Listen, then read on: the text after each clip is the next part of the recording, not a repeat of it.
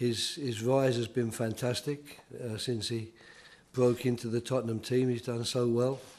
And I think it would have been much more of a surprise had he not been selected than him being selected. And we're delighted to, to welcome him into the fold and try and help him establish himself because he's, like a lot of the players in our squad, they are young, but uh, some of them have gone on having been given their chance to really establish themselves, and we hope that's going to happen for Harry as well. We know about him and what he can do on the football field is clear for all to see because he's been doing it week in and week out for Tottenham. So he deserves his chance, and um, we're happy that he's with us.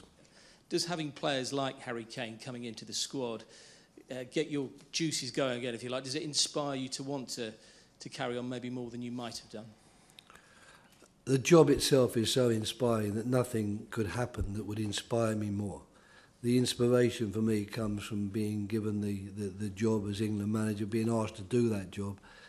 It's a great bonus when there are some very exciting young players coming along that you, you hope will develop further and you hope will go on to become you know real stars of the future that's that's something which is very very very nice, if you like, to have in your locker, but it doesn't inspire me more because the inspiration for me is always there.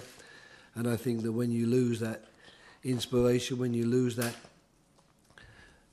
enthusiasm, if you like, to talk about the young players that have suddenly appeared on the scene, then you're perhaps losing your enthusiasm for the for the profession. And uh, fortunately for me, that's not happened.